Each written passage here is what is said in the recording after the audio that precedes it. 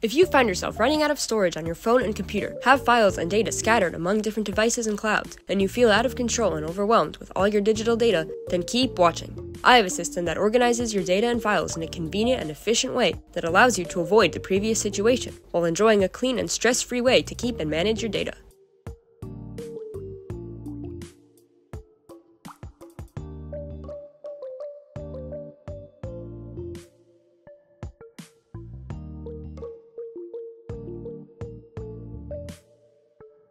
Before implementing the actual system, I had to do some work. I gathered all the files and data that I had from across all my devices and organized it all on a hard drive and put it in the cloud. This included pictures, emails, documents, voice memos, anything I cared about from over the years. I went through all my devices and just dumped all the data into organized storage. This is the hardest part of the process, but the less data you have, the easier. And if you really don't care about salvaging anything, then I guess you can skip this step. The first type of data that was important for me to organize are photos. My photos automatically upload from my phone's camera roll to the OneDrive app. I like OneDrive because of the amount of storage that you can get for the price. Its cross compatibility is also useful, not locking you into any specific company, and it's straightforward and just works. OneDrive is great, but it's only one backup. For more insurance, I also upload my photos manually to my computer, like twice a month, and then from there put them on my hard drives. This way, if anything happens to my OneDrive account, I always have a backup. You'll see that I use hard drives a lot in this video in order to provide security against data loss. Every day on OneDrive on my phone, I look through my On This Day album to see pictures that were taken on the current date from prior years. It's usually around a dozen photos or so, and I go in and delete the ones that I don't need taking up space in my cloud, like screenshots or duplicates. Unfortunately, I can't really do this on the hard drives, so they still have the unnecessary photos, but my hard drives have much more space than the 1 terabyte that you get with OneDrive, so I don't really mind. With photos sorted, we move on to the next main type of data. For files I don't really care about, I save them locally on my computer. I actually just use the preset categories in the user home folder just because it's already there and it's easy.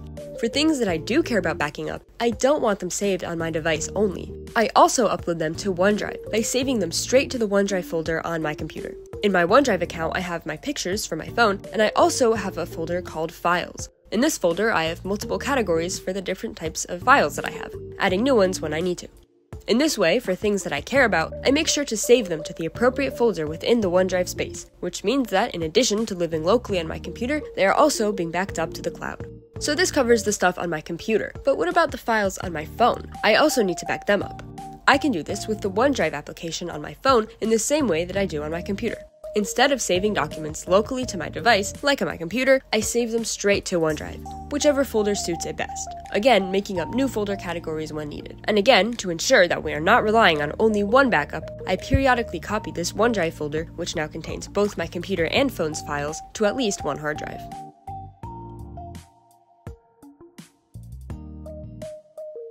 With photos and files out of the way, we get to the rest of the data.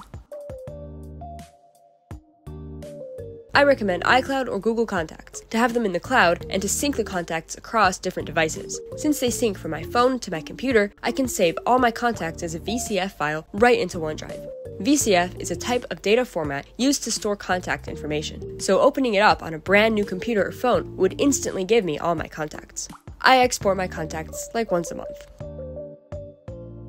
Most of the voice memos I make on my phone aren't so important, so I don't care about storing them in the cloud but rarely for ones that are, I easily save them to OneDrive with the Files app on my phone. For important emails, which is also pretty rare, I either save them as a PDF or EML file in my OneDrive folder. For passwords, I recommend using a password manager, specifically Bitwarden. It stores your passwords in a list, syncs across devices, does autofill, and it's free. It's cross compatible with every operating system, so it doesn't confine you to a certain company. Just to have another copy of your data, I recommend exporting your password database every so often and saving it to your cloud and hard drives. By using a password manager, you'll never forget passwords or lose accounts. By using this way of storing your data, you aren't trapped in a walled garden or ecosystem of any one company. I'm not relying too much on iCloud or Google to store my data, which means that I can use Android, iOS, macOS, or Windows seamlessly. Just by installing OneDrive and signing into my logins, I have all my data. If I ever need to clear space on my device, then I can just press free up space in the OneDrive folder and it's all offloaded from the device's memory. Likewise, when I get a new device, I don't have to set it up as a copy of my old phone or computer with all of the attached clutter and layers of cached data from over the years, which makes things run slower and takes up more space. Instead, all I need to do is sign into my Apple or Google account and download OneDrive to have access to all of my essential data. Because I save unimportant files locally on my device, and only important files get saved in the OneDrive folder, my cloud and hard drives aren't so filled with clutter as they would be if my entire computer was backed up. By following this system, you can avoid clutter, running out of storage, and losing data, while having peace of mind, organization, and better functionality. Have fun implementing it, and if you run into any questions, please ask me in the comments. I would be so happy to answer. Thanks for watching!